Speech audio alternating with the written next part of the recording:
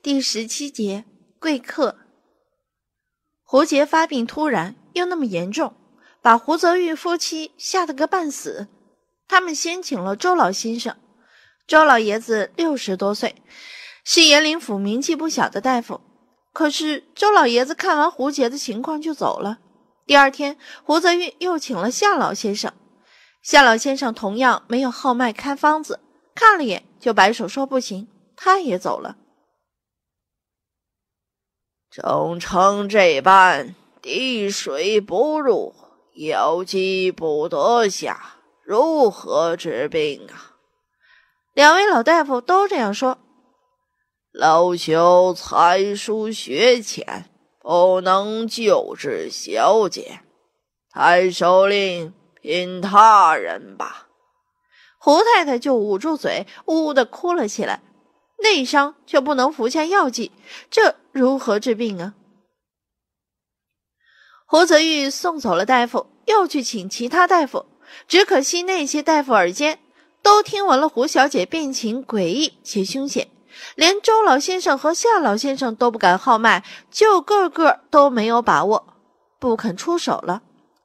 半个月前宋大太太的病，让延陵府的大夫们都长了记性。这种疑难杂症千万别出手，治得好没有功劳，治不好却砸招牌，吃力不讨好啊！滴水不能进，这就是绝症了。胡泽玉一脸愁色，回到了太守府。胡太太问：“怎么回事？”大夫呢？胡泽玉把情况说了一遍，胡太太就放声大哭：“哎呦，这些个庸医！”一个个做缩头乌龟，见死不救，该断子绝孙的。宋大太太的病就是顾家老爷子治好的，你去求他，要是吉儿不中用，我也跟着去了。可是那位老爷子已经不出诊了呀。胡泽玉为难，人家大夫不问诊。也是自保，胡太太诅咒人家断子断孙，有点过分了。不过他也是情急之下，口不择言。胡泽玉没有计较太多。可是请顾家老爷子，胡泽玉直觉他是请不动的。这不是出诊，这是救命啊！胡太太哭得更加凄厉。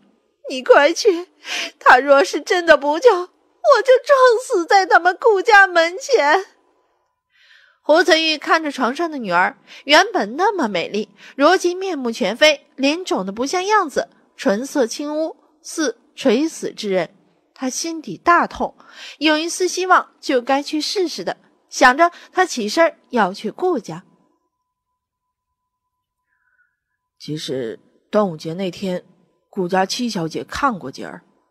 一旁沉默不语的胡卓突然道：“他说今儿要小心，应该认真的看个大夫，吃些牛黄麝香，否则就喉痹之症。”胡泽玉脚步猛然停了下来，胡太太也不哭了，夫妻俩目光紧紧的盯着胡卓：“你怎么今日才说呀？”胡太太大怒：“倘若你早点告诉娘，娘给你妹妹请了大夫。”也不至于如今这般凶险。要是妹妹有个三长两短，都是你的不是。他怪儿子不顶用，胡卓心里就腹诽：妹妹那么健朗，看不出丝毫病态，让你给她找个大夫，你定又要骂我诅咒妹妹的。到时候还说我被顾家七小姐迷了心窍，听信她的胡说八道，又是一番唠叨。这些话胡卓是不敢说的，他只是道。顾家七小姐没有号脉，她就是那么看了一眼妹妹，就说了那么一番话。我只当她是戏弄妹妹。胡太太又是一愣，她眼底亮起的金光缓缓暗了下去。像赵道元那样的神医都要号脉问诊，看几眼就说出病症，那不是胡说八道吗？居然胡说八道都说准了，顾家七小姐那张乌鸦嘴，胡太太在心里大骂顾锦之。你快去，快去请顾老爷子来！胡太太见胡泽玉还在那里思量着什么，就大声的道：“吉儿这病，许就是这顾家的小蹄子诅咒的。要是吉儿有事儿，我跟他们顾家没完。”胡泽玉就快步的往外走，他倒不是被胡太太威胁的，他精明过人，从儿子胡卓的话里听出了几分不同寻常。顾家七小姐不用号脉就能看准病因。这等本事，哪怕是赵道元也要让几分吧。前些日子传言说顾家七小姐治好了宋大太太的顽疾，大家都只当是玩笑话，胡泽玉也当玩笑。直到这一刻，他才惊愕，也许真的是事实呢。宋大太太的病，满延陵的大夫都治不好，若真是被顾家七小姐看好了，这份医术当真了得呀！顾家七小姐知道病因，自有法子治吉儿。她恨不能肋下生翅，立马飞到马元相顾家去。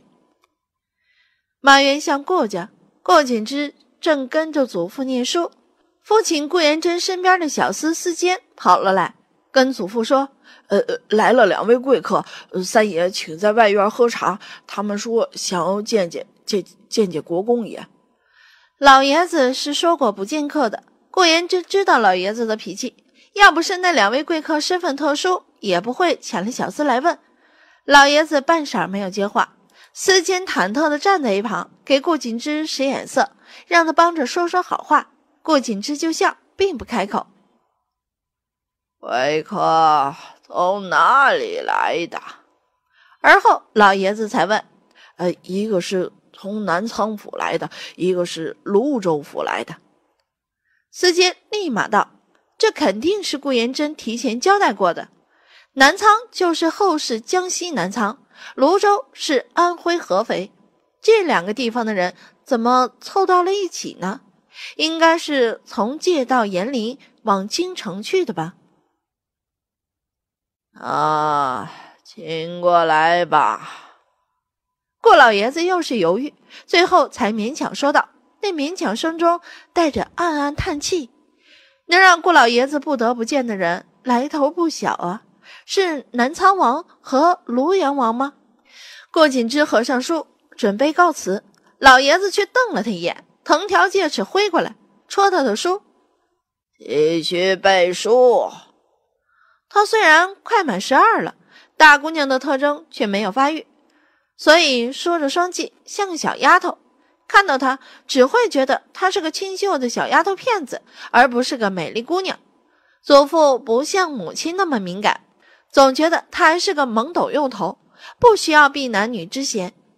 况且，她将来从医，顾景之就重新坐下，翻了书来，默默背诵。过了两刻钟，父亲顾延珍带着两个男子进了祖父的小院儿。顾景之坐在书案前，一抬头。就能看到，他搁在花梨木书案上的手指倏然一紧，一双手紧紧的攥了起来，然后他又快速的放开。